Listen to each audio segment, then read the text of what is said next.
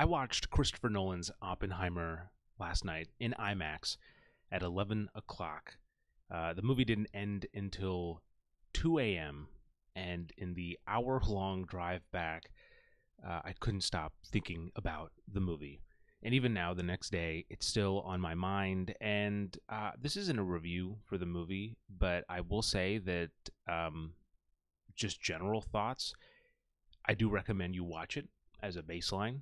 And also, I don't think uh, very many people could make a three hour long biopic that's shot in IMAX, presented in semi black and white with a budget of $200 million other than Christopher Nolan. And I don't think you could really do this with another subject than J. Robert Oppenheimer, who, uh, of course, is one of the key figures of creating the atomic bomb. I'm not going to go any further into it than that. I do recommend you watch it. But having watched the movie, it, it's one of those that just really sits with you um, once you finish it. And so I, I've been thinking about it and I realized uh, two things. One, I think that the conversations that happen in this movie are probably one of the most significant in human history. Like the things were said and uh, possibilities were laid out for for things that would have, I mean, that, that did change the world uh, irrevoc- irre- irrevocably. You you I hope you understand what I'm saying, but nevertheless, the second thing is that uh, I don't know a whole lot about Oppenheimer. I mean, uh, I actually back in college I took this pop culture class that will I will fully admit was just because it had uh, it was easy credits, and our final for that class was you had to pick a topic uh, of of anything you'd want, and you you pitch it as a video game. Like you could do whatever it was. Um, you know, some people I think did uh, like hospital stuff, but it was like a platformer or something. I, I don't remember. I, I only remember that I, or my group, uh, pitched a a video game that was, um, I'd say, compare it to something like a Telltale, like it was a Telltale esque game that was um, based off of the center around the, the Manhattan Project. I didn't really know, and obviously I knew Oppenheimer's name because of that, but I didn't know exactly who he was or like ex- the full extent of, of his knowledge. Oh my God, uh, Kevin, hello, Mr. Brown, PhD. Nice to see you again. I'm glad to see you alive and more skinny. You know, it's been a it's been a it's been a journey. But uh, Kevin, thank you so much for subscribing. A tier three subscription, and you are now 29 months subbed in a row. I appreciate it. Thank you very much.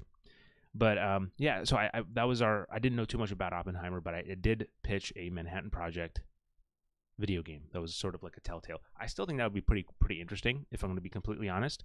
Um, but but with that said, I'm willing to admit that I don't know something, and this is something that this in this this what we're doing right here is something that I've had an idea for for a while.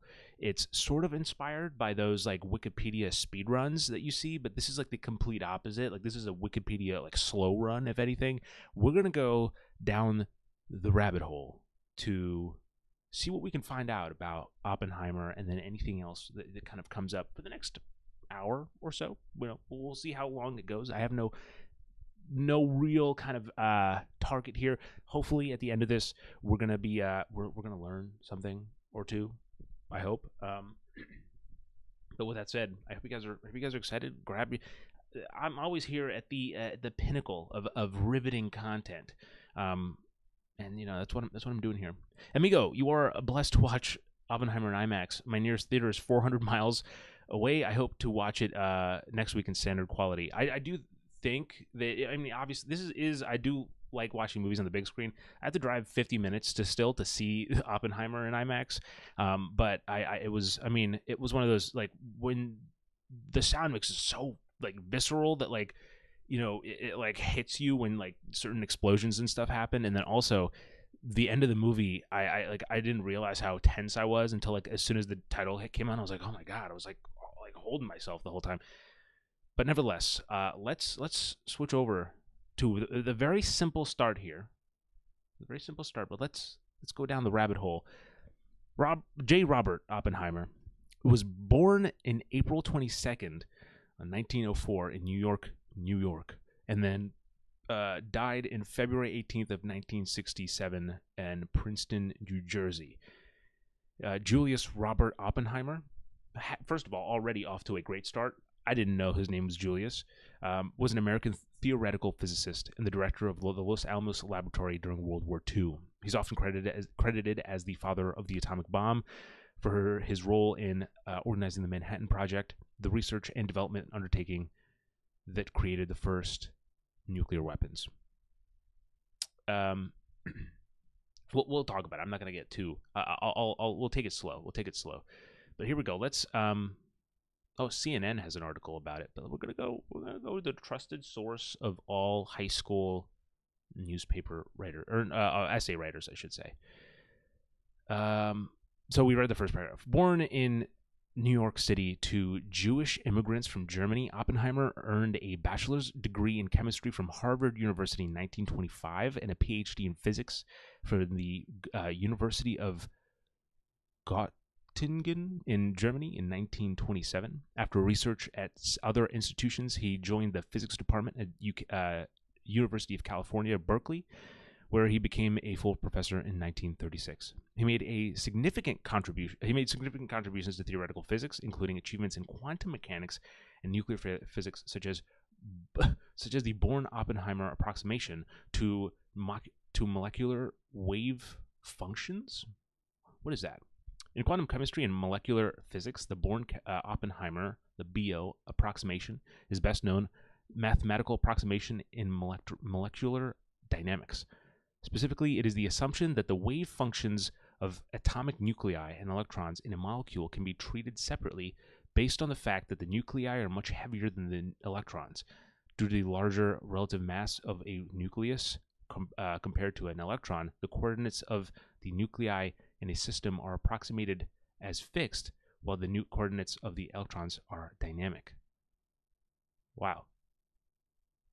the approach is named after Max Born and his 23 year old graduate student J. Robert Oppenheimer, the latter of whom the latter of whom proposed in 1927 during a period of intense ferment uh, in the development of quantum mechanics. Oh, I didn't read that right. Pur- purposed it, not proposed. I don't know what I said there. Yeah, uh, most of that was over my head. I'm not. I'm not.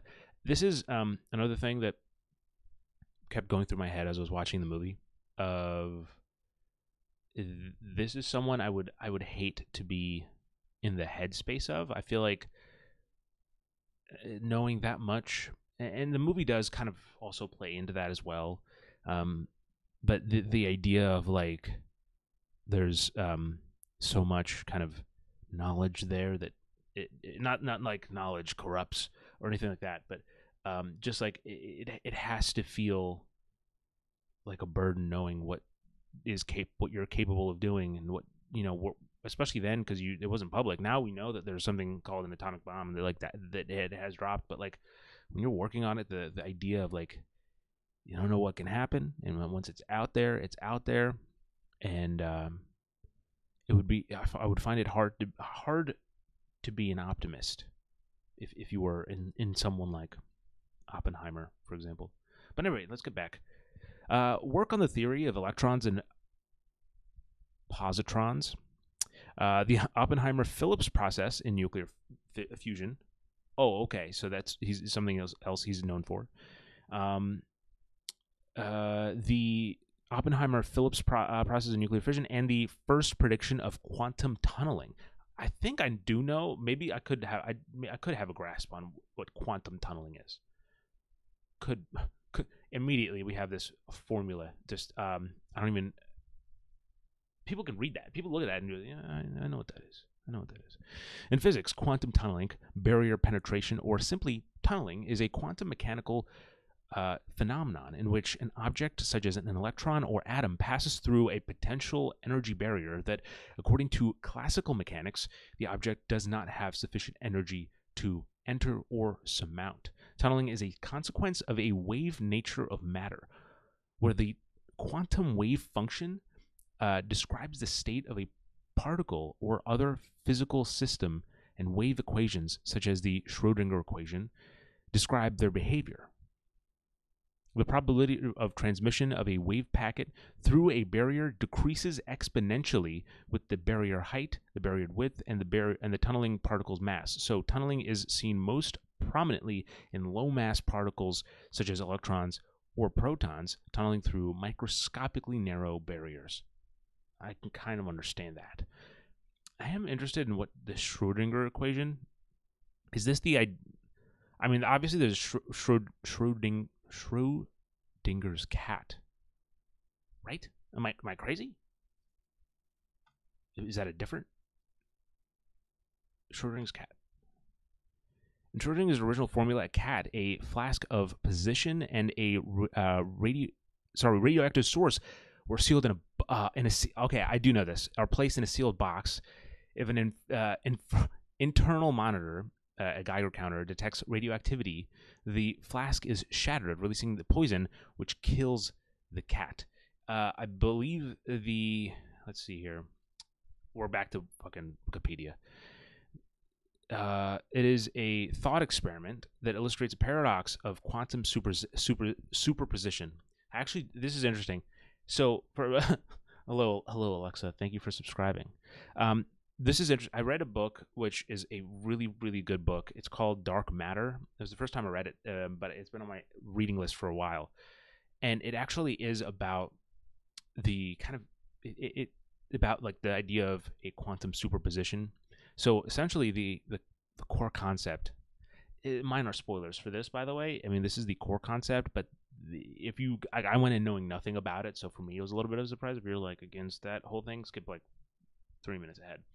Uh, so I'll, I'll, remember to stop talking about it in three minutes. Um, but essentially, the idea is you do exactly what you know. You go into this box, and uh, for them, they essentially the idea is I'll read this. So, in the thought experiment, a hypothetical cat may be considered simultaneously both alive and dead while it is unobserved in a closed box as a result of its fate being linked to a random subatomic event that may or may not occur. This thought experiment was devised by uh, physicist Edwin Sh- uh, Erwin sorry, Schrodinger in 1935 in a discussion with Albert Einstein to illustrate that Schrodinger, uh, that Schrodinger saw as the problems of the Copenhagen uh, interpretation of quantum mechanics. So, so there's problems with the Copenhagen interpretation. So, yeah, the idea in the book is that you go into this chamber, you know, where it is a, a chamber that you that you cannot observe uh, from the outside. You the, and so the idea is when you go in and these series of things happen, they also like take a, a, shot that pretty much like puts him this in the, into this lucid state, which I think is like the book's kind of like you know the, uh, the way of like being like that's how humans can possibly like make it through this. Okay, I don't know what's going on. Uh, my, my my watch will not stop beat tapping me on the on the wrist. Um, so I'll keep going. But while you're in there, because again you can't be observed, and just kind of like the whole thing of like it, it's not until you like someone opens the door and then makes an observation that it, it, it solidifies that as like that is the reality that is what happened. So obviously here they're talking about the idea of the cat. You don't know if you you know you don't know if the cat's alive or dead until you open it open the box. But then when you when you open the box it definitively like it's unknown until you do it. You know what i mean? Like that, that that's kind of the whole idea of it. But in, in the book, they take it a step further and they're like, okay, what if humans could traverse through that? And then in that kind of the the position of quantum superposition, you can travel the multiverse. That that is that is that is the idea of that. Very very good book and uh, one that just kept me kept me going, kept me guessing. Back to the Schrodinger. How? Why am I struggling to say this name? Schrodinger's equation is a linear particle differential equation that governs the wave function of a quantum mechanical system. Its discovery was a significant landmark in the uh, development of quantum mechanics. The equation is named after uh, Edwin Schrödinger, of course, uh, forming the basis of the work that resulted in his Nobel Prize in Physics in 1933.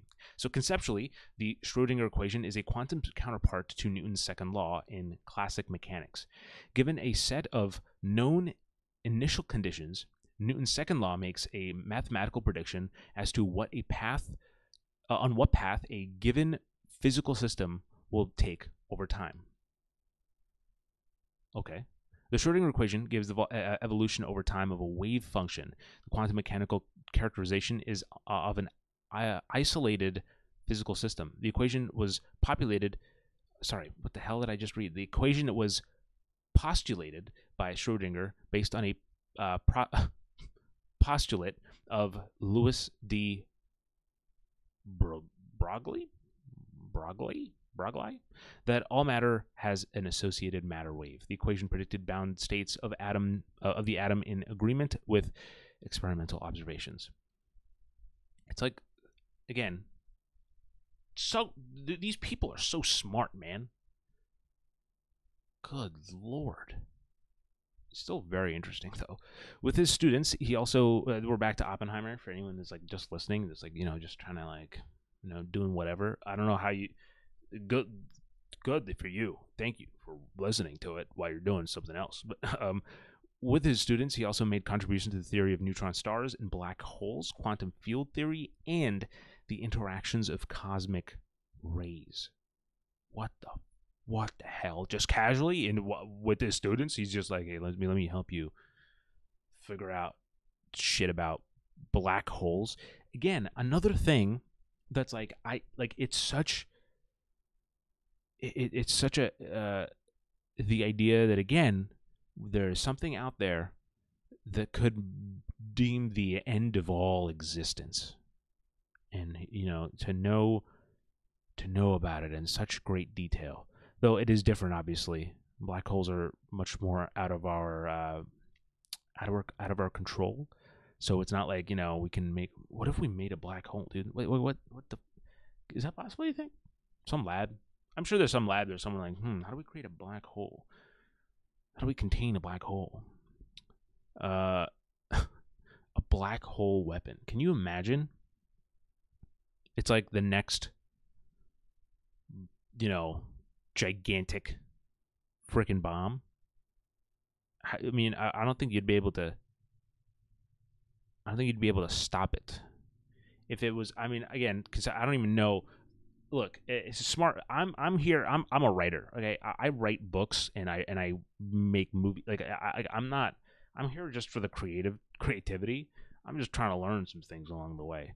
But um, so I'm just here for the cool ideas. And so like, obviously, this is on the basis, the the wildly crazy f- basis that like you could make a a black hole, right? It would be the end all. It would be like the failsafe. Like, don't mess with us. We're crazy. We got a we got a black hole, and we're we're not afraid to use it. And then obviously there's the question of AI, but I'm not gonna get into that because now I'm like, what what if is it was that how you get rid of a power hungry AI. You have a power hungry AI that's like on on the loose, and you're just like, okay, we gotta we gotta drop a black hole on this bitch. I look look. This is this is how I write my books. Uh, I'm not saying I'm writing a book about a, a black hole bomb, but in 1942, Oppenheimer was recruited to work on the Manhattan Project. And in 1943, he was appointed director of the project's Los uh, so one year later, uh, of the project's Los Alamos laboratory in New Mexico, tasked with developing the first nuclear weapons, four years after the start of the German nuclear weapons program. His leadership and scientific expertise were instrumental in the project's success. On July 16, 1945, he was present at the first test of the atomic bomb Trinity. In 19, oh, sorry, uh, hold on. And, and then in August uh, of 1945, the weapons were used against Japan in the bombings of Hiroshima and Nagasaki, which remain only the only use of nuclear weapons in armed conflict. I do believe that they were uh, used. Obviously, like a lot of a lot more testing was done. Then is that the? That's a fake, right? That, that, is that a fake image. I'm on Wikipedia for the Trinity nuclear test, and there's a freaking video. Yeah, Can I just roll over this? Is, is this fake? Time lapse det- detonation? Is that the real thing? Holy shit. It says time lapse detonation of Gadget, which is the codename for Trinity Nuclear Weapons Test, July 16, 1945. Is that it? Dude, that can't. Whoa, dude. Is that real? It, it would make sense, I guess, that they would that they would have video of it, but God, God, dude, what the? Detonation and subsequent mushroom cloud of the gadget uh, with an estimated yield of 25 kilotons of TNT. What the? Jesus. I don't think I've ever seen an atomic bomb. Like obviously I've seen simulations. Is that, again, I'm still blown away. If that is real, I've, I've, I'm, I mean, that's crazy. Have you guys seen a, a time? What is this normal? Anyway, I go. I, I, I digress. Trinity was the code name of the first detonation of a nuclear weapon. It was conducted by the United States Army at 5:29 a.m. Uh, MWT. Is that Mountain Time? On July 16th, 1945, as part of the Manhattan Project.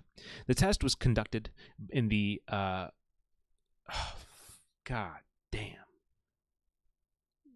Jornada, J O R N A D A, del Muerto Desert, about 35 miles southeast of Socorro, New Mexico. Another thing I think I may have said wrong.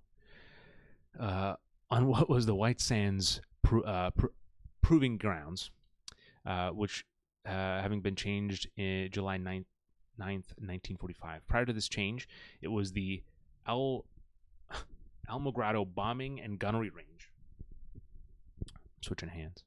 The facility is now part of White Sands Missile Range. The only structures originally in the vicinity were the McDonald Ranch House and its, its uh, uh, ancillary buildings, which scientists used as a laboratory for testing bomb components. A base camp was constructed, and there were uh, 425 people present on the weekend of the test. The code name was assigned by uh, uh, Robert J. Robert Oppenheimer, the director of Los Alamos, inspired by the poetry of John Donne.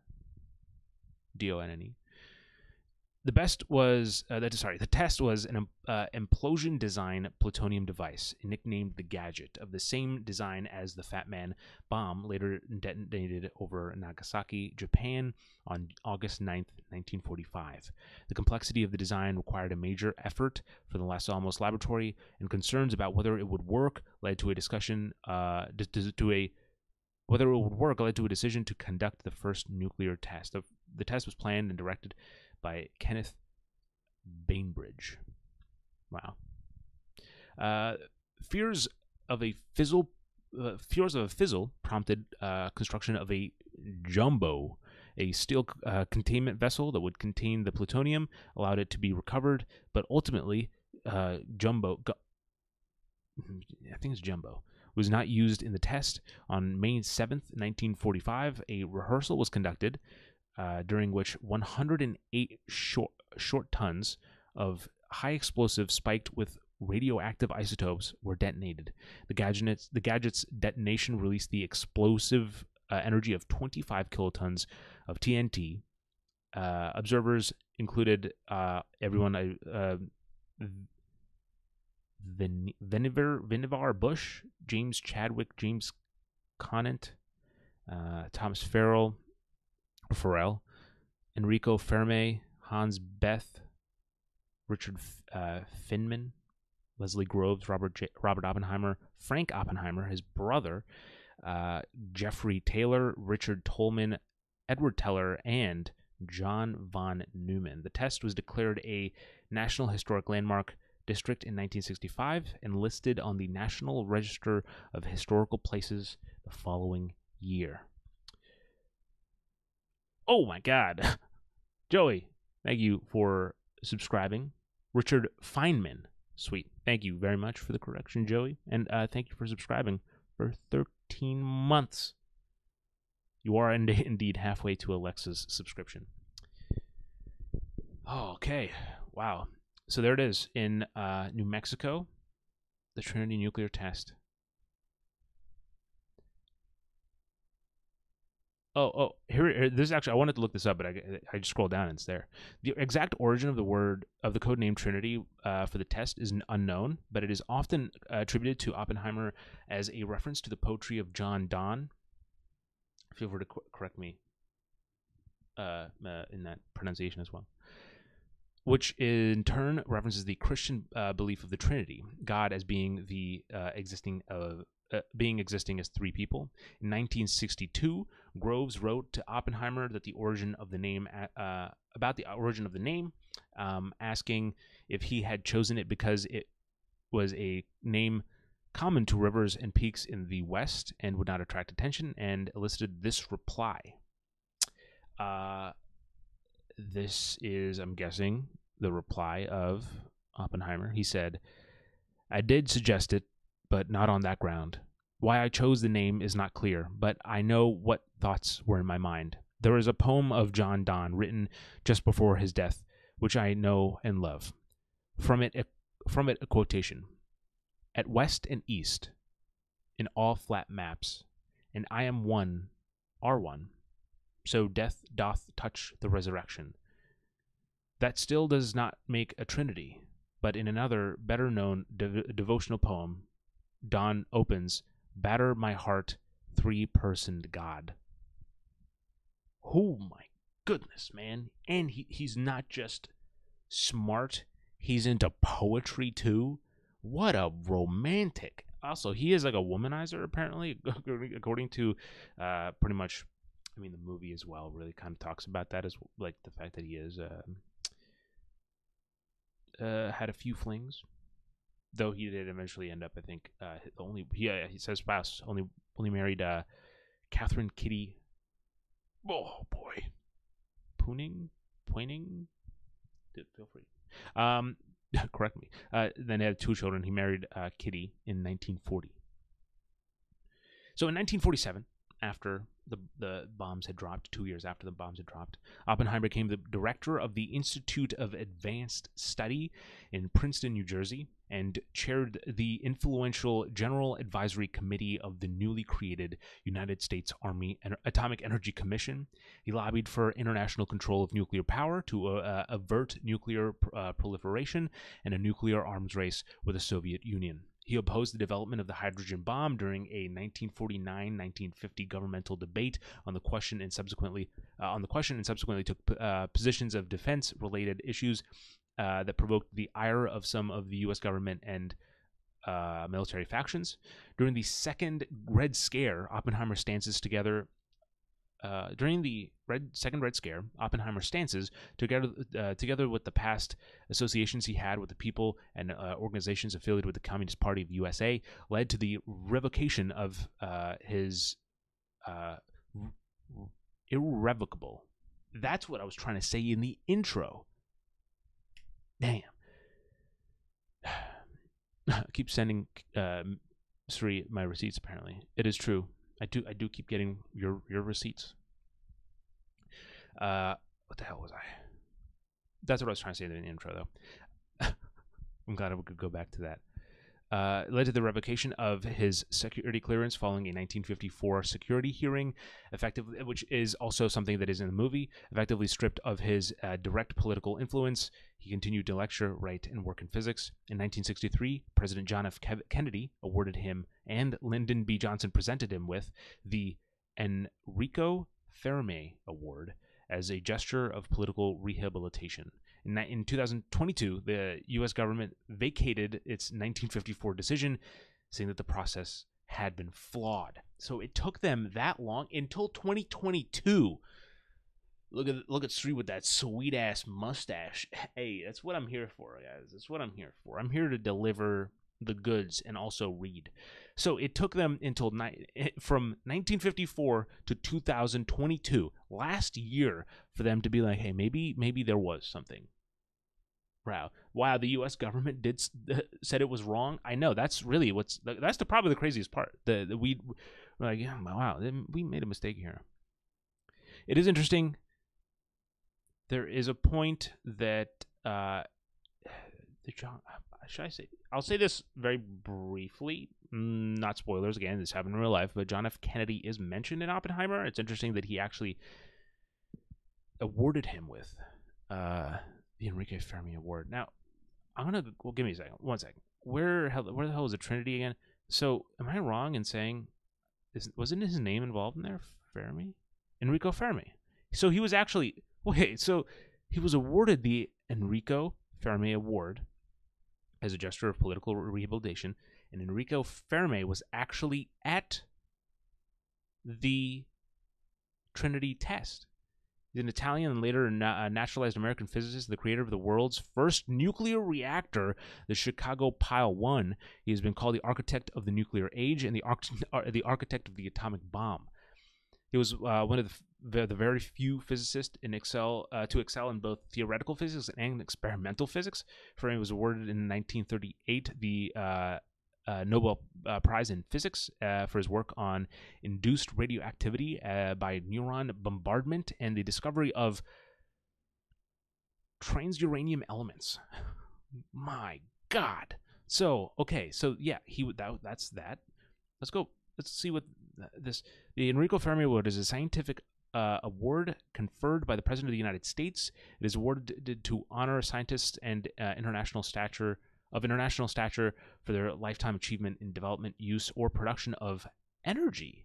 It is established in 1956 by the United States Department of Energy in memorial of Italian American physicist uh, Enrico Fermi and his work in the development of nuclear power. The recipient of the award receives $100,000, a certified signed, a certificate signed by the president uh, and the uh, Secretary of Energy, uh, and a gold medal featuring the likeness of Enrico Fermi.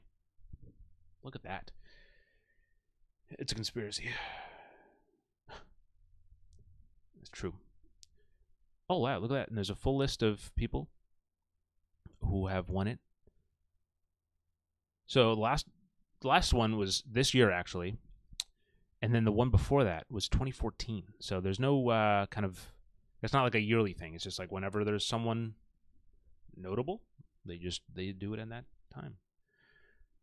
My God, I am. I mean, look, we're we're like a half hour into this, and I'm I've I feel like I'm. I don't know. I feel like I'm I'm scratching the surface, but also there's so much going on. It's it's it's. I mean, I'm I'm I hope you guys are enjoying this. At the very least, it's just it's my it's my it's my voice, so you guys are settled in that regard. Don't even have to worry about it. Uh, Oppenheimer was born in the non-observant Jewish family in New York City in April 20, uh, 22, 1904, to uh, El, Ella, uh, a painter, and Julius, a successful tech, uh, textile uh, importer. Uh, we don't need to Robert had a younger brother, Frank, who uh, also became a physicist uh, and who later founded the Exploratorium Science Museum in San Francisco. Interesting. At the age of 18, excuse me, Oppenheimer uh, entered Harvard College, where he majored in chemistry. Harvard also required studies in history, uh, literature, and philosophy or mathematics. He compensated for his uh, late start by taking six courses each term instead of the usual four. Because why not? You're going to Harvard, Harvard to study uh, freaking chemistry. Why not do a little bit of uh, overload the work a little bit? You know, he, was admitted to the undergraduate honor society Phi Beta Kappa. Yo, hell yeah! I was graduate. and was granted a graduate standing in uh, was, granted graduate standing in physics on the basis of independent study, which meant that he could bypass the basic courses in favor of, of advanced ones. He was attracted to uh, experimental physics on it by a course of on ther- uh, thermodynamics taught by Percy Bridgman. Brigman. Brigman. 1925, after only three years, dude, are you kidding? After only three years, Oppenheimer graduated from uh, Harvard with a bachelor's degree, uh, summa cum laude. Laude. Uh, holy shit, dude. Oh my god. How are you so smart? What? What the hell? Hashtag sweet ass mustache. I'm glad we're focusing on the real important thing here. Not this man's fucking three year Harvard study to to just oh my Good goodness, dude. Uh, after being accepted to Christ's College, Cambridge in 1924, Oppenheimer wrote to Ernest Rutherford requesting permission to work at the Cavendish Laboratory, though Brigman's letter of recommendation said that Oppenheimer's clumsiness in the laboratory suggested that theoretical physics rather than experimental would be his forte. Interesting. So he's a clumsy person. I knew I had something in common with a genius. Uh, uh let's see, let's see, let's see. Okay. Uh, Rutherford was unimpressed, but Oppenheimer went to Cambridge nonetheless. He was uh, ultimately accepted by J.J. Thomson by the condition that he would complete a basic laboratory course. Oppenheimer was very unhappy at Cambridge and wrote to a friend, quote, I am having a pretty bad time. honestly, dude, if honestly, probably probably me too. Probably me too. If I was in that after this new uh, history, we need to watch the nuclear history of Pakistan versus India. I feel like that's a whole nother episode, Kevin. A whole nother episode where we look at the just the general conflict between between Pakistan and India. Uh, because you know, again, another topic that uh, while I do know uh, probably more than like uh, the average person, considering I am Indian, but I, I'd still probably I, I, could definitely learn a lot more about it. Um, but you know, let me know. Let me know. Maybe maybe we'll do it sometime. But uh, let's see. but anyway, back to back to this quote. Uh, I am having a very bad time. The lab is the lab work is a terrible bore, and I am so bad at it that it is impossible to feel that I am learning anything. He developed an antagonistic relationship with his tutor Patrick Blackett. According to Oppenheimer's friend, oh, that's unquote by the way, we're done there. Um, uh, according to Oppenheimer's friend Francis Fergusson, Oppenheimer once confessed to leaving an apple dosed with noxious chemicals on Blackett's desk. That's real. That was, I mean, it makes sense why Damn, you're right, Sri. That is a great mustache, guys. Thank you. I appreciate that. I appreciate appreciate that. See, this is I, this is all the validation I needed. I, I, I sat there. I, looked in the mirror. I was like, mm, I need to get rid of this beard. And I was like, should I shave it all? And it's no. I want to look like a, a, a, a, cool. You know, I want to look friggin' dope. So um, yeah, I'm glad the mustache is working on you guys. That's that's the only reason why you guys are still uh watching this. So yeah, he left an apple doused with noxious chemicals on Blackett's desk. Oppenheimer's parents, uh, uh, first of all, uh, troubled, maybe. I don't know if I would ever.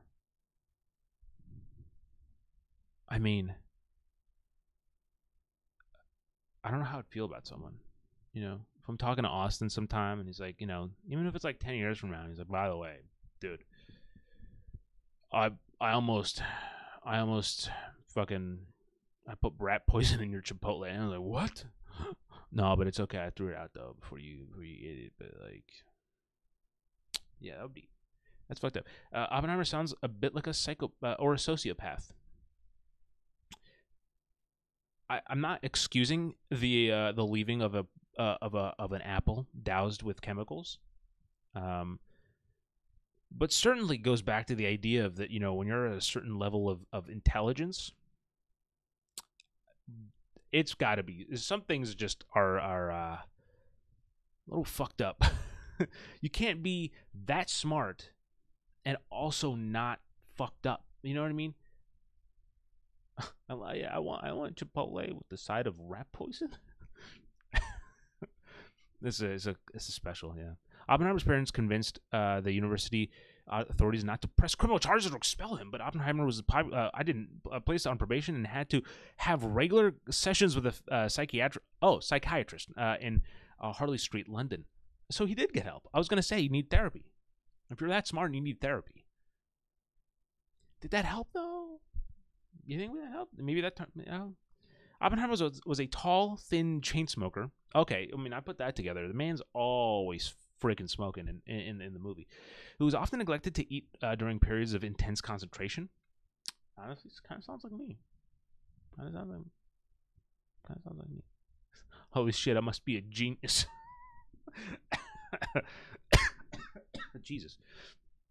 Uh, uh, many friends said that he would uh, he could be self-destructive. In one incident, uh, where's this? Okay, in one incident, uh, Fergusson tried to distract Oppenheimer uh, from his apparent uh, depression by telling him that he, Fergusson has was to marry his girlfriend. Oppenheimer jumped on Fergusson and tried to strangle him. Oppenheimer was plagued by periods of depression throughout his life, and he once told his brother, "I need physics more than friends." Uh, once again, Kevin, thank you so much for gifting a tier one sub to Nomad, the kid, and and Graham. Uh, well, where's the alert? I'm the alert. This is a totally new setup. Wasn't expecting this uh, to be popping off today. So yeah, we're, we're didn't didn't didn't think to set that up. You know, didn't think you guys would be dropping subs like this today. If I'm going to be honest with you, but I appreciate the support. Thank you very much, Kevin. Um, back to this. What, first of all, what a quote! I need physics more than friends. Uh, and uh, like, okay, I haven't read this before, Sri, uh, is currently during uh, doing an intense period of concentration. Yeah, it's, it's an intense period of conversation con- concentration that it's like immediately distracted by the fact that I've uh, you know I'm I'm I'm live and I'm I have chat. Bro, Oppenheimer's has an extreme chemical imbalance. Um, yeah, that's what he needed. Some uh, some hormone hormonal pills maybe, but no. Um, I haven't read all this. This this stuff isn't actually in the movie about his. I mean, he it shows that he's he has like this kind of darkness to him. Uh, but it makes so much sense that this guy is depressed. I don't mean that lightly. I mean, again, when you have so much going on, it, it makes sense that you'd have, you might not have the full, full uh, belief in humanity. You're not fully like, oh yeah, I, I, I believe humanity is going to do the best. I he he does actually. I mean, it's very famous quote that he has about you know, like uh, it's it's a quote from the Bhagavad Gita. I'm sure we'll, we'll he'll they'll probably be mentioned here at some point, and so we'll we'll talk about it when we get there. But um, man, it is sad though. I need physics more than friends. I don't know if I could ever. I love movies. I love movies. I, I studied movies. I, I, grew up making movies. Like you know, since I was a kid, I was always like you know making stuff with you know uh, my parents' cameras and stuff. Uh, and would I ever say I need I need I need movies more than friends?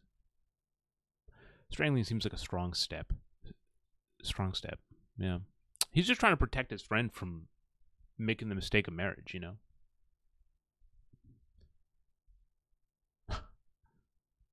want to trade some movies for Austin? I don't know what that I don't know what that means. Uh, in 19 yeah, okay, 1926, Oppenheimer left Cambridge for the University of Göttingen. That's a German word. Uh, to, uh, to study under Max Born, of course.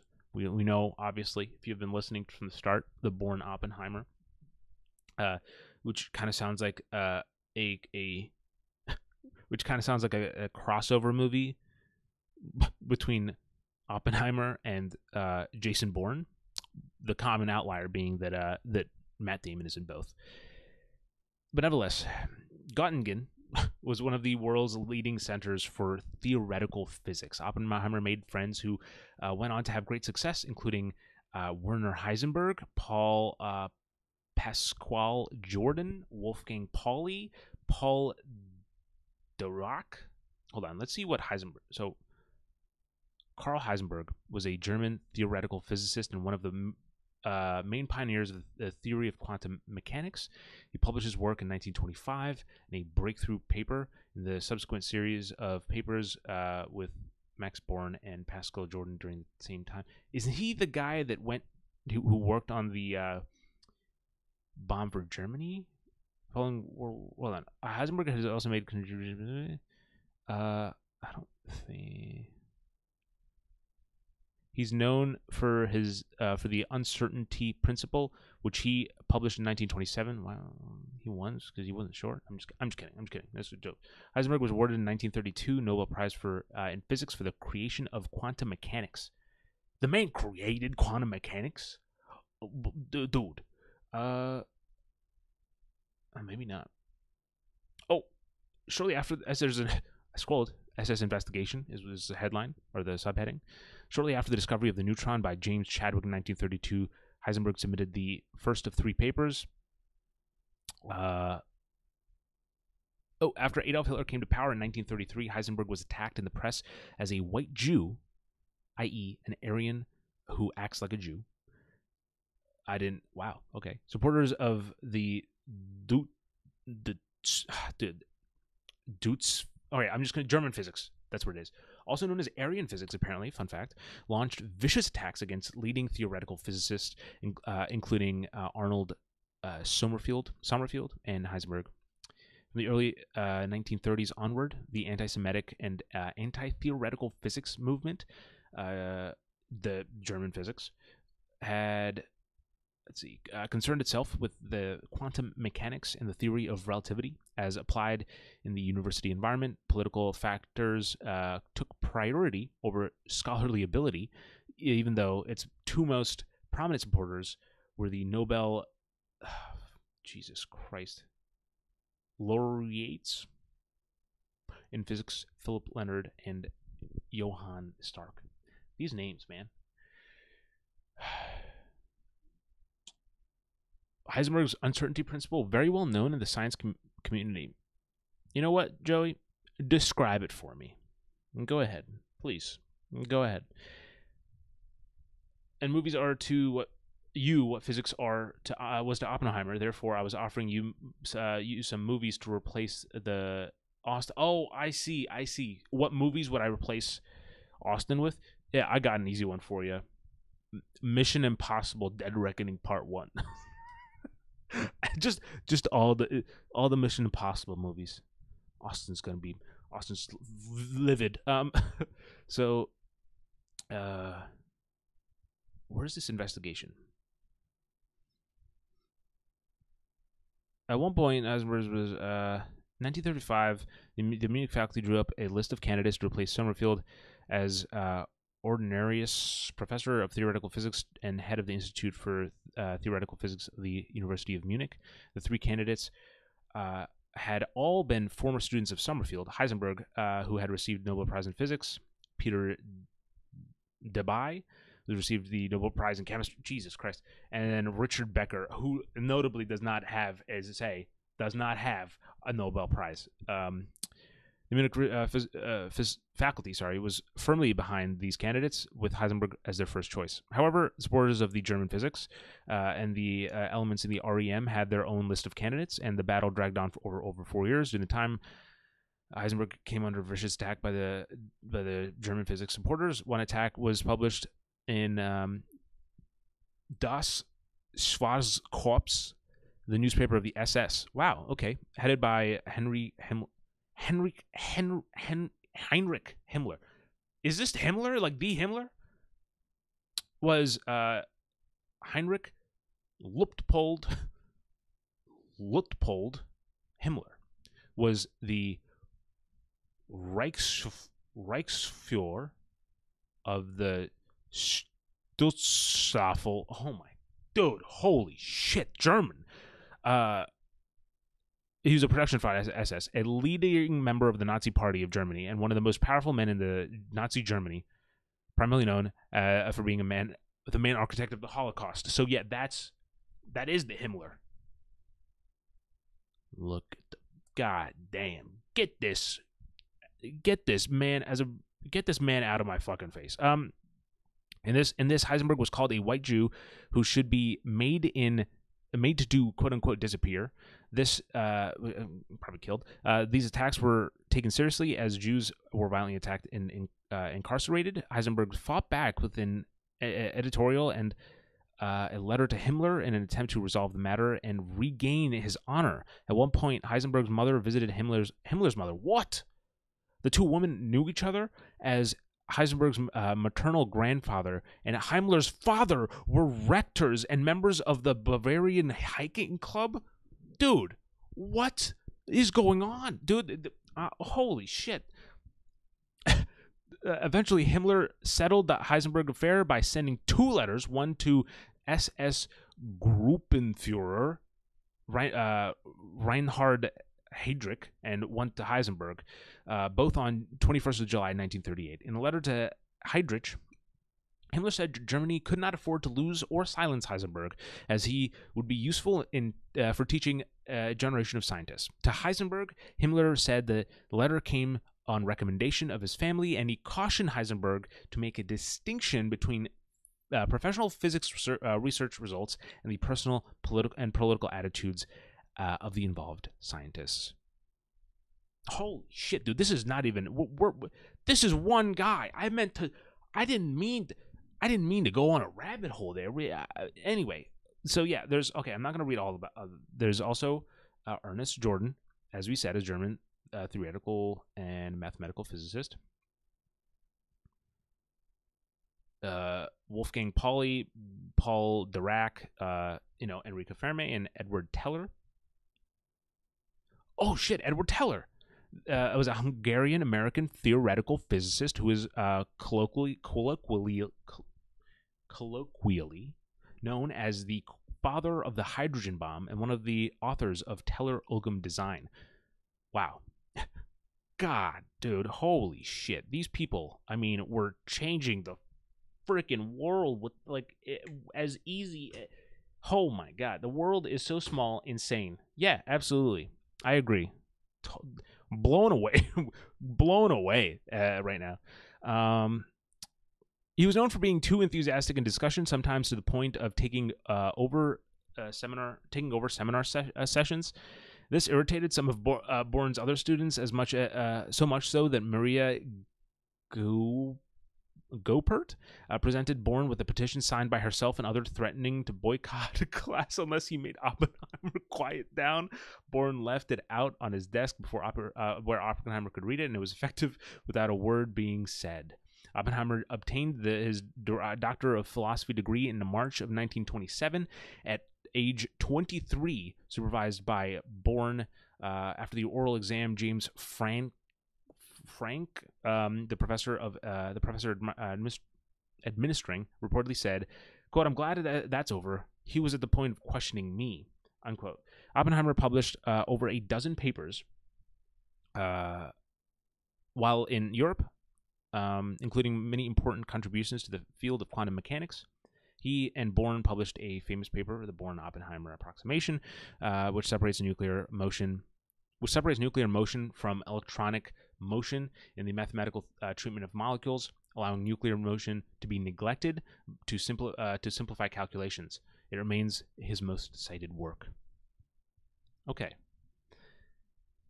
Uh, Oppenheimer was awarded the uh, United States Research Council Fellowship um, to the California Institute of Technology in September 1927.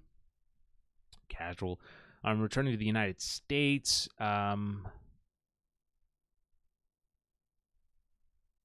Uh, I'm just I'm just making sure like we're not we're not you know going through. Uh, do you have alerts on? I, I do not, but thanks for the bit, loser. it's Alexa. It's Alexa. It's Chloe. It's okay for. Um, by the way, I explained the uncertainty principle. Did you really? I thought you just said you you're not a scientist, bro. Oh, he said, but I know a lot of them. Uh, a lot of them, and also I have cursory interest in cur- cur- cursory interest in physics as it will help with the current energy crisis. There is inherent uncertainty in the act of measuring a variable particle. Oh, very interesting. St- again, still, eh, so the, so the guy got awarded for what? Just being like, hey, I don't. Sometimes you don't know stuff. Chat, chat. Hold on. Let me, let me hear me out. I'm I'm 20 26 now. And uh I will admit that sometimes I don't know stuff. And that's that's the SDSK's principle of of of uh uncertainty. So man, we got old. Uh, excuse me. Excuse me. That's not the point of what what, what the hell is going on right now. That's not the point. um,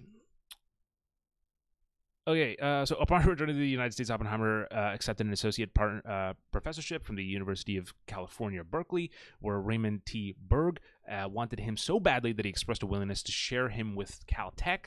Before he uh, began his Berkeley professorship, Oppenheimer was diagnosed with a mild case of tuberculosis. What the? Hold on.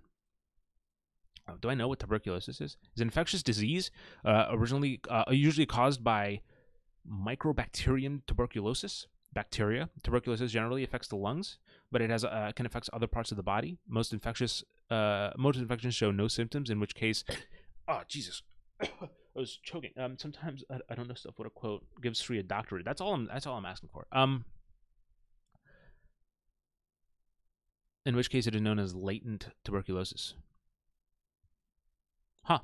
Wow. TB. That's what it says. Okay. And spent some weeks uh, with his brother Frank in a New Mexico ranch, where, which he leased and eventually purchased. When he heard the ranch was available for lease, he exclaimed, "Hot dog!" And later, that's a that's that's how you do it, dude.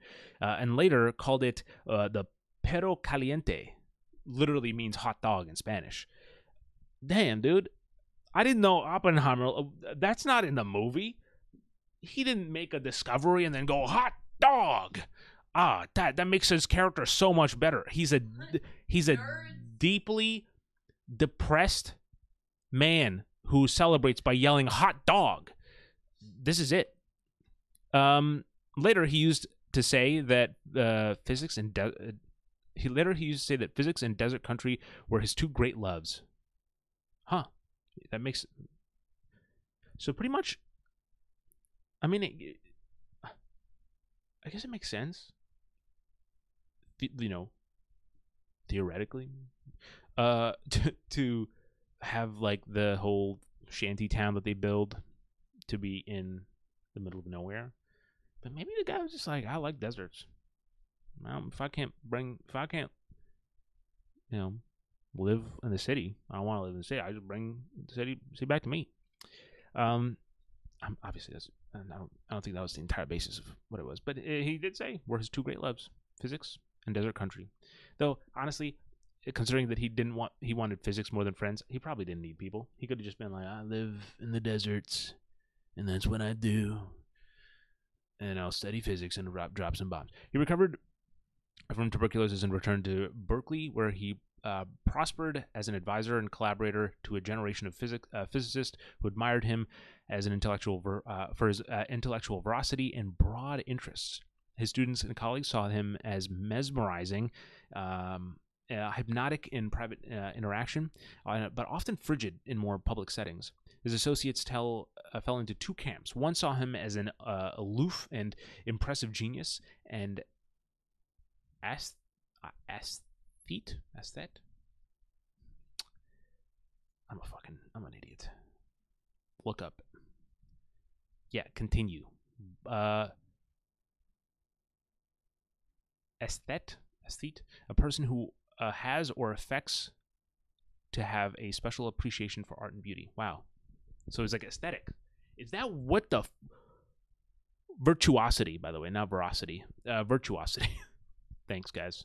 That's why I have the this whole thing on the screen over here, so you guys can also follow along. Uh, uh, if you're if you're watching, if you're listening to this, just everything I say is is is is fact. That's not true at all. Please don't take that to heart. Um, uh, let's see. Recovered? Yep, yep, yep. Oh yeah, and then uh, so he's uh, very into the aesthetic, much like, just like me. Um, if he had an Instagram, I bet it would be amazing. The other part, I make some some jokes, and like some people who are like here for the knowledge are like, "Dude, what an idiot!" Well, why would you say that? Uh, the other as a pretentious and insecure poser. His students uh, most uh, almost always fell into the former category, adopting his walk, speech, and other mannerisms, and even his inclination for reading entire texts in original languages. Hans Bethe said to him, What the hell? This is a long ass quote. Probably the most uh, important ingredient he brought to his teaching was his exquisite taste. He also knew that there were important uh, there were the, what the where he also knew what were the important problems as shown by his choice of subjects. who truly lived with those problems, struggling for a solution, and he communicated his concern to the group. In its heyday, there had been eight or ten graduate students in a group, and uh, and about six postgrad uh, doctoral fellows. He met this group once a day in his office and discussed with one uh, after another the status of the student's research problem.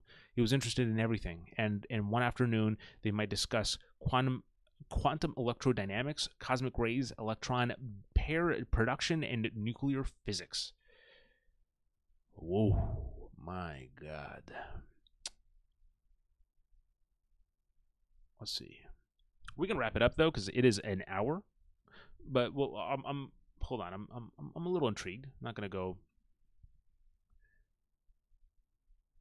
Oh, Oppenheimer made important contributions to the theory of cosmic ray showers and started work that eventually led to descriptions of quantum tunneling, as we discovered. In 1931, he co-wrote a paper of relativistic theory of the photoelectric effect from his, uh, with his student Harvey Hall, in which, based on empirical evidence, he correctly disputed Dirac's assertion that the two two of the energy levels of the hydrogen atom had this have the same energy. Subsequently, one of his doctoral students, Willis Lamb, uh, determined that this was a consequence of what best known as the Lamb shift.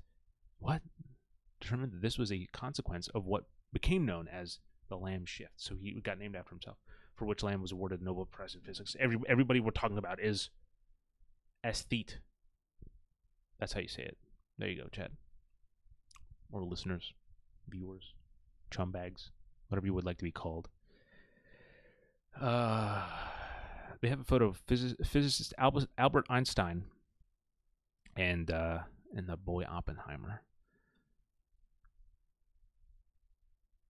Wow. Uh, let's see here. In the late 1930s, Oppenheimer became interested in astrophysics uh, most likely through his friendship with uh, Richard Tolman, resulting in a series of papers. In the first of these, 1938, paper co-written with Robert Serber titled On the Stability of Stellar Neur- Neutron Cores, Oppenheimer explored the properties of white dwarfs. This was followed by a paper co-written with one of his students, George Volkoff, on massive neuron cores, neutron cores, sorry, in which they demonstrated there was a there was a limit, uh, the so-called Tolman-Oppenheimer Volk limit to the mass of stars beyond which uh, they would remain not wouldn't sorry to the mass of stars beyond which they would not remain stable as neutron stars and would undergo gravitational collapse. So, so was demonstrated there was a limit. So after the limit to the mass of the stars, if they go beyond the limit, they become unstable and collapse. I understood that. I, I made I got you, brother. Your stash is bitter. Hey, thank you very much. I appreciate that. I did. I'm glad that the one thing I have over Albert Einstein, the stash. You know, I'm out here rocking a stash that that Einstein could only hope for. You know, I appreciate that. I appreciate that. All right. Uh, let's see here. After World War II, Oppenheimer published only five scientific papers, one of which was about biophysics, and none after 1950. Uh, Murray Gell-Mann, Gell-Mann, a later Nobelist, of course, of course, as uh, a visiting student, worked with him at the Institute uh, of Advanced Study in 1951, offered his opinion. He didn't have a sitting flesh when uh, when you sit on a ch- sit on a chair. As far as I know, he never wrote a long paper or did a long calculation, anything of that kind. He didn't have patience for that. His own work consisted of little what the apercus? I'm gonna look it up. It's A P E R C with a little thing under it. U S. A A common or brief reference that makes an illuminating or entertaining point. Okay, but quite brilliant ones. So you just kind of made like small little like um like remarks, just like observations, like uh, what if this, and then it just happened to be something that was so far above what what people might would you know as casually as I would say, you know, fucking hot dog. You get it, you get it. Uh, but he inspired other people to do things, and his influence was fantastic, which I guess makes sense. A lot of his students went on to win awards and shit. So that makes sense. Uh, I'm not gonna go. Okay, so these are the last two things I'm gonna talk about because we can keep going on and on. But I'm gonna do last two things. Uh, here we're gonna talk about first the his private and political life a little bit, and then we're gonna touch on his mysticism. Uh, just because I think that'd be, uh, I think that'd be interesting conversation, and then we're gonna wrap it up for the first rabbit hole. Um, number okay, so here we go. Uh, let's go up a little bit. Okay, during the okay, cool. During the 1920s, Oppenheimer remained uninformed on worldly matters. He claimed that he did not read newspapers or popular magazines, and only learned uh, of the Wall Street crash in, of 1929 while he was on a walk with Ernest Lawrence six months after the crash occurred. One second, take a break.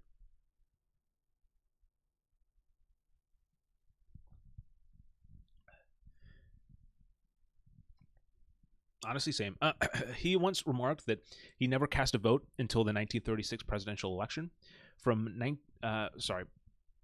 From 1934 on he became an incre- uh, increasingly concerned he became increasingly concerned about politics and international affairs. In 1934 he earmarked the 3% of his uh, annual salary about $100 equivalent to $2200 uh, in 2022 for two years to support german physicists fleeing nazi germany uh, during the 1934 West Coast watermark. He and some of his students, including Melba Phillips and Bob Serber, attended a longshoremen's rally. Oppenheimer repeatedly, uh, repeatedly attempted to get a Serber uh, get Serber position at Berkeley, but was blocked uh, by Birge, who felt that quote one Jew in the department was enough.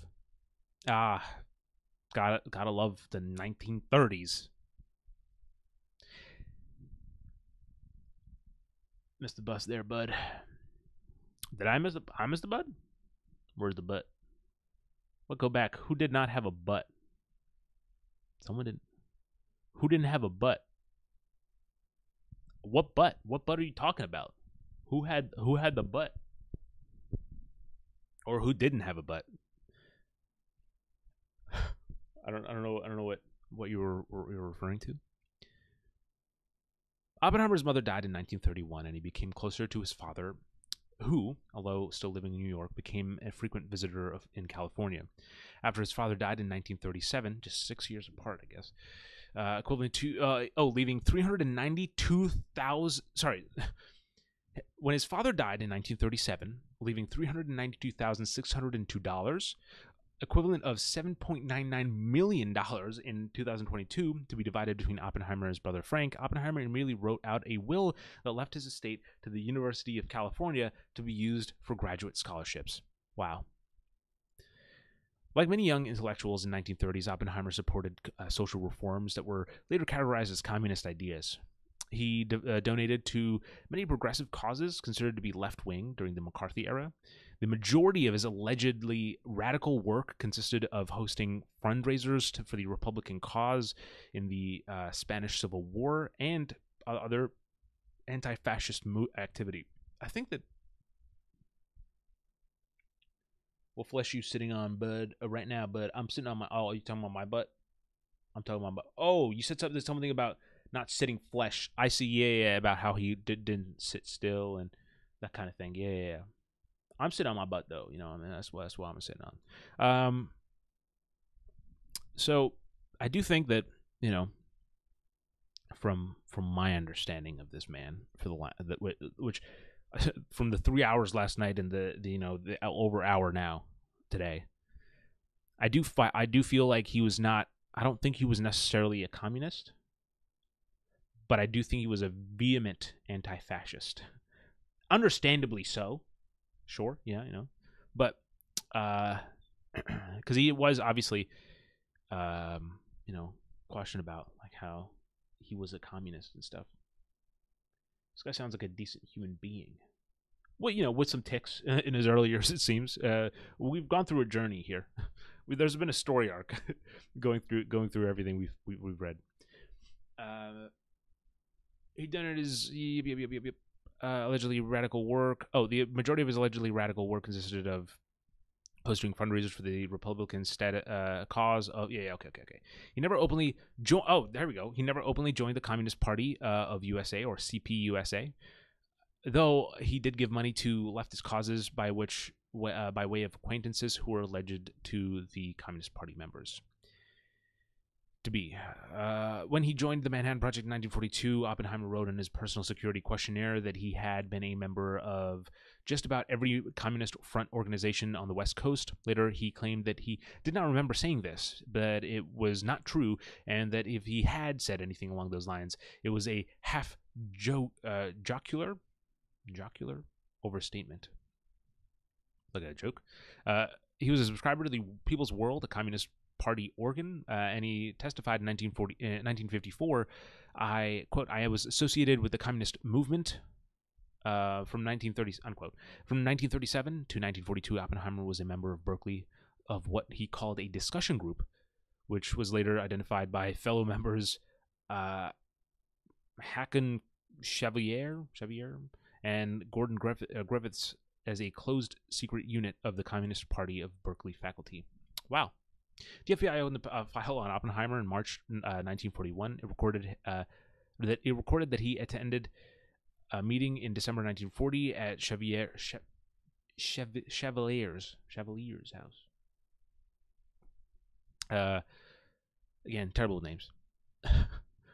uh, that was also attended by the Communist Party California State Secretary uh, William Schneiderman and it's uh, Treasurer Isaac Folkoff. Oh shit! I didn't even say. That's so unfortunate. I didn't mean to say it like that. Isaac, I'm sure you're a great dude. God damn. The FBI noted that Oppenheimer was uh, on the executive committee of the American Civil uh, Liberties Union and it considered a communist front organization. Shortly thereafter, the FBI added Oppenheimer to its custodial detention index for arrest in case of national emergency wow, so they just have this custodial detection detention index. This is, is a system used to track American uh, citizens and other people by the FBI before the adoption of computerized databases. Wow, dude. They just have a list of people. They're like, hey, yeah, was, shit hits the fan. If there's ever like any doubt of someone who this guy probably fucked it up, you know what I mean? It's just th- these people. Just get him, put him in the fucking jail first what the, I guess I guess you know national security and all that. I mean, I mean, uh, what a smart thing to do, really genius, really. When I think about it, what a good that's smart, good thing. Ooh, oof. Oppenheimer's party uh, membership, or lack thereof, has been debated. Almost all historians agree that he was strong left wing views during his time and interacted with um, during this time and interacted with party members, but it is but it is disputed whether he was officially a member of the party. At his 1954 security clearance hearings, which the movie also is very much so. Uh, it takes place during. He denied being a member of the Communist Party, but identified himself as a fellow traveler, which he defined as a as someone who agrees with many of communism's goals, but he's not willing to blindly follow orders from any uh, Communist Party apparatus. In August 1943, he volunteered to Manhattan Project uh, security agents that George Eltenton, whom he did not know, had solicited, had solicited three men at Los Alamos for nuclear secrets on behalf of the Soviet Union. When pressed on the issue in later interviews, Oppenheimer admitted that the only person who had approached him uh, was his friend Haakon Chevalier. Chevalier? Chevalier? Ah, dude, I'm sorry. Uh, not that they're going to listen to this. A Berkeley professor of French literature who had mentioned the matter privately at a dinner at Oppenheimer's house. Brigadier General Leslie R. Groves Jr., the director of Manhattan Branch, is. I want to see what this guy looks like in real life. Wow, that's and that's who um, Matt Damon plays, I think, right? In the movie. Uh, he does have a mustache. Once again, not not quite not quite like you know my mustache. But one one could argue, uh, you know, just like with Einstein, probably a more important person. Uh, the director of the Manhattan Project, uh, though um, Oppenheimer. So, uh, sorry. So Leslie R. Groves Jr. thought Oppenheimer to, was, was too important to the project to be uh, ousted over his suspicious behavior. On July 20th, 1943, he wrote to the Manhattan Engineer District, quote, In attendance with my verbal directions of July 15th, it is desired that clearance be issued to Julius Robert Oppenheimer without delay, irrespective of the information which you are concer- uh, which you have concerning Mr. Oppenheimer. He is absolutely essential to the project. That's fascinating to be able. To, so in the movie, they actually they they talk about how he, do, he like he has to do something to get his clearance. But to this is what the this is what he wrote like to read now we know what like uh, now i know what he wrote in the movie. They just you know he's like get me the security clearance. He's like all right you know and leslie Groves go you know goes and he gets the security clearance and then like in a, a few scenes later whatever. All right last thing. Uh, by the way yeah relationships and children. He had two children. He was married to uh, kitty. Uh, he was involved with uh, jean tetlock the daughter of the Berkeley literature professor and st- uh, student of Stanford University School of Medicine. Uh, the two had similar political views, and um, she hated flowers apparently. But uh, yeah, he married Kitty.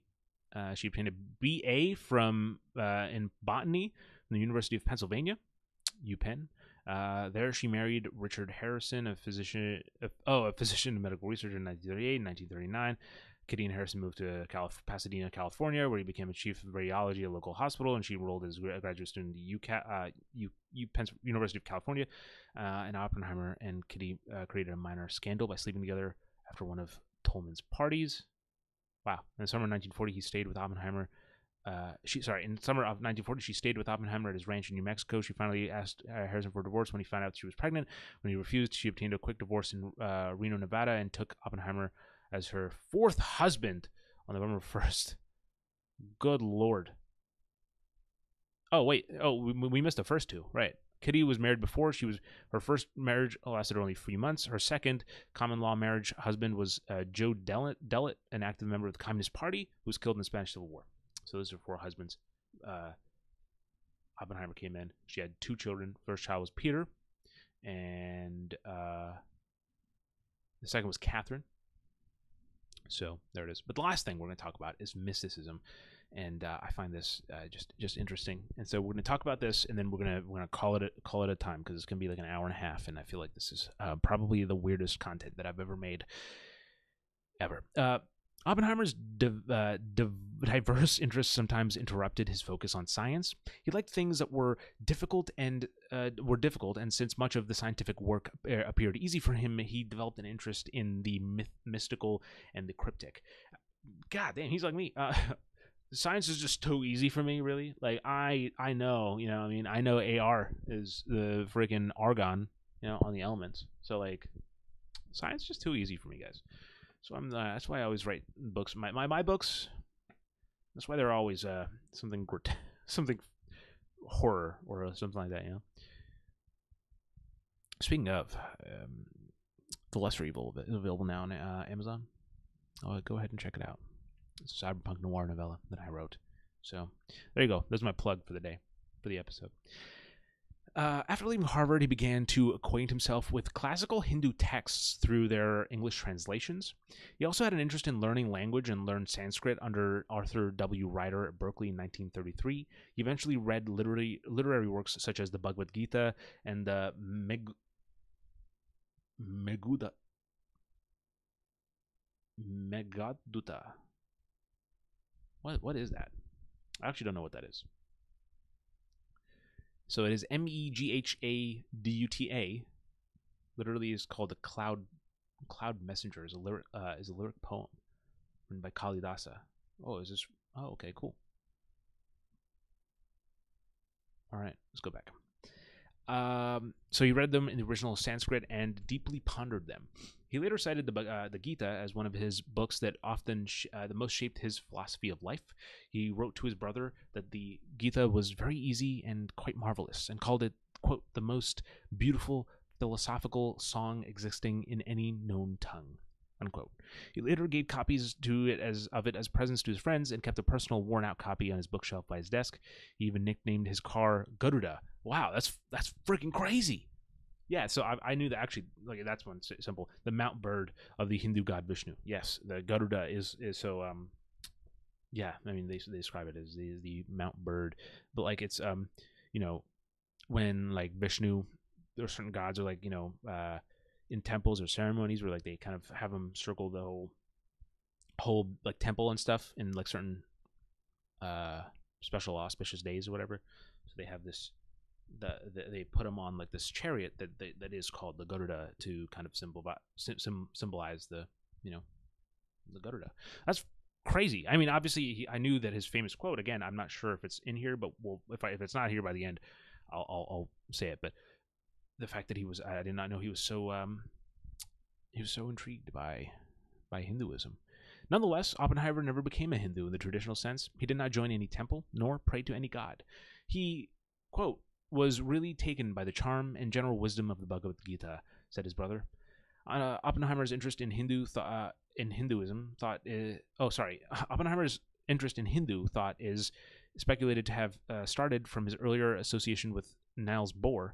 Both Bohr and Oppenheimer had been very uh, analytical and critical about the ancient Hindu mythological stories and the metaphysics imbued in them.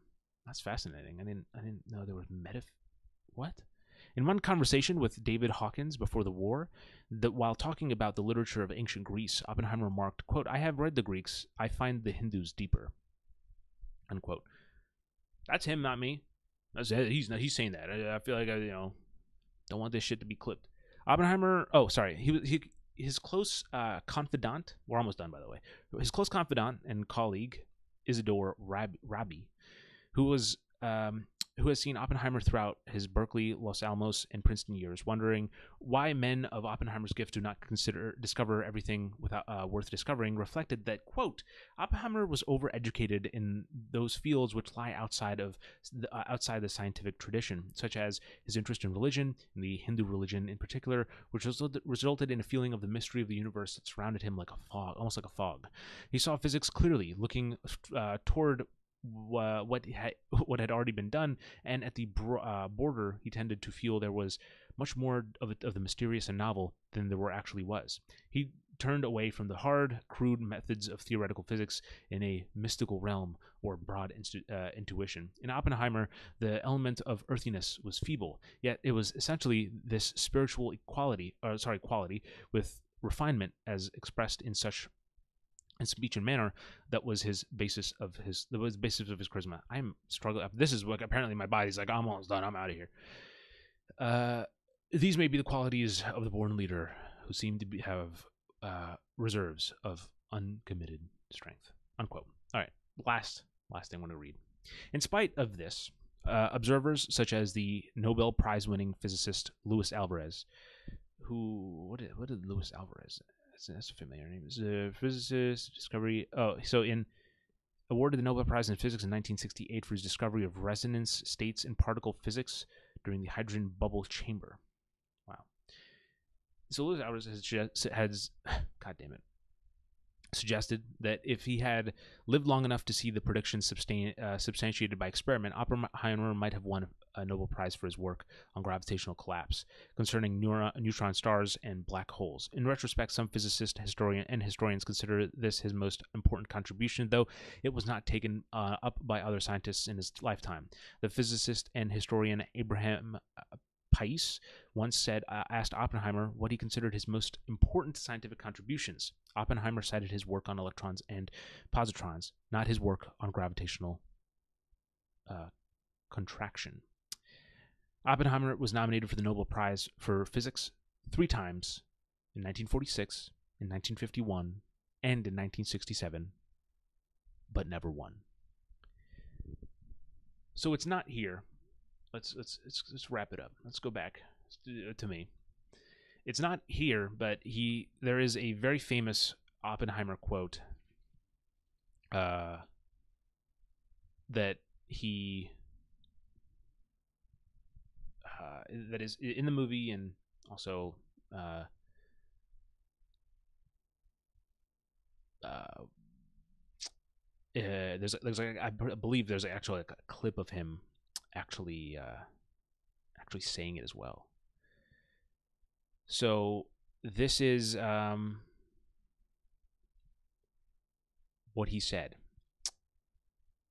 The words that you know were kind of in his in his head after watching the Trinity test. uh, he said uh, a quote from the Bhagavad Gita. Now I am become death, the destroyer of worlds.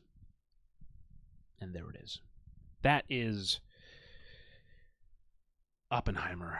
The the story of Oppenheimer, the life of Oppenheimer, whatever it is, uh, I'm not sure. Uh, that was um what, a crazy hour and a half, a little less than an hour and a half, but uh, you know, I, I mean, we went through so much in this. It was a real roller coaster of uh, of just like you know of, of facts, if you will thank you guys so much for for hanging out and wa- um, and watching and listening. If wherever you're listening to this, you know, give it a rating. If you're watching this, like the video, subscribe. Uh, thanks to everybody who who uh, watched live and subscribed. Obviously, Joey, Kevin, um, Alexa. Thank you guys to everybody for uh, for that support. I appreciate it. And uh, oh, you know what? Here, let me sweeten the deal. Let me sweeten the deal here. Let me. I'll do. I'll do it myself. Uh, let's see. Chumbag. And here we go. Boom. I'm subscribed as well. There it is. And with that said, guys, ladies and gentlemen, boys and girls, thank you very much for listening to me talk for a little bit. I hope you guys enjoyed. If you did, make sure you uh, do everything I said. it's all right, Joey. I appreciate appreciate you uh, appreciate you hanging in there though. I enjoy you. Thank you. I'm glad. I'm glad you did enjoy me. With that said, people, as always, thank you very much for watching. Thanks for listening. And as always, until next time. Have a good night, good morning, and a damn good time.